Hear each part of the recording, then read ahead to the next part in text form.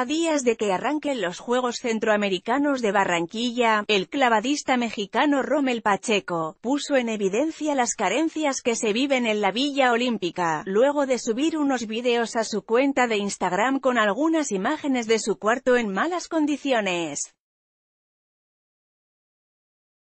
Lee también, mira que le dijo César Ramos a CR7 durante el Mundial Pacheco y sus compañeros de cuarto, no les agradó del todo el tema del hospedaje, pues prácticamente se burló de la habitación provisional, y luego su habitación oficial, ambas con un espacio muy pequeño, regaderas con una sola llave y hasta techo de lámina.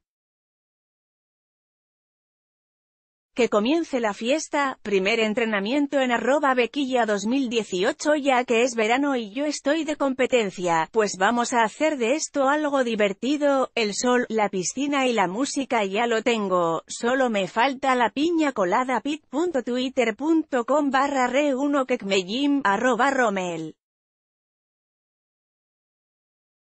Pacheco, 17 de julio de 2018 Después de mostrar su malestar por las condiciones en las que deberá descansar antes de cada competencia, Rommel Pacheco decidió tomarlo con humor y aseguró que pondrá en práctica lo aprendido en el hexatlón ante las condiciones de su villa. Además de compartir su habitación, Pacheco dejó ver las instalaciones del comer de la Villa Olímpica, Rommel Pacheco durante una competencia, Jam Media en esta nota, Rommel Pacheco Juegos Centroamericanos Villa Olímpica Barranquilla Delegación Mexicana